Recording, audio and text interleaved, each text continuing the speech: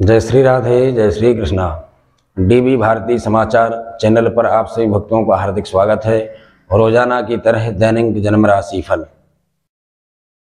मेष राशि वालों को आपको आज के दिन कोई शुभ सूचना अथवा नया संकेत प्राप्त हो सकता है। दूसरी राशि है वृक्ष वृक्ष राशि वालों को विद्या अध्ययन जैसे क्षेत्रों में सफलताएँ प्राप्त होंगी तीसरी राशि मिथुन। मिथुन राशि वालों को आपका स्वास्थ्य बेहतर होगा। और आप कोई नया शुभ काम शुरू कर सकते हो।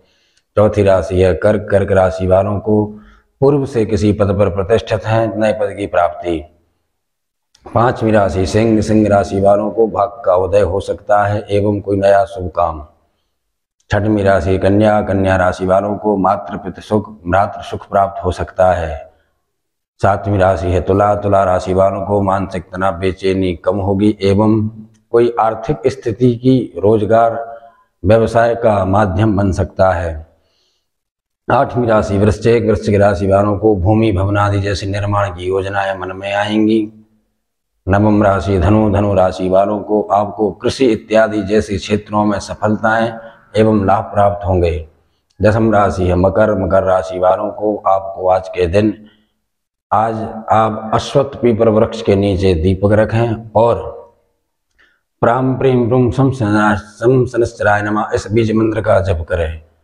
ग्यारहवीं राशि, कुंभ कुंभ राशि वालों को आप नीलम रत्न धारण करें, एवं आपको आज के दिन कोई शुभ सूचना प्राप्त हो सकती है, एवं वाहन जैसे क्षेत्रों में लाभ प्राप्त होंगे।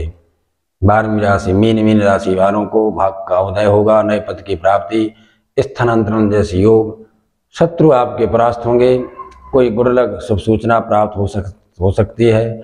नारायण कवच राम रक्षा स्त्रोत्र जैसे पाठों को आप करें, पुखराज नामक रत्न धारण करें, जो कि आपके लिए श्रेष्ठ और उत्तम कारक रहने वाले हैं। जय श्री राधे, जय श्री कृष्णा।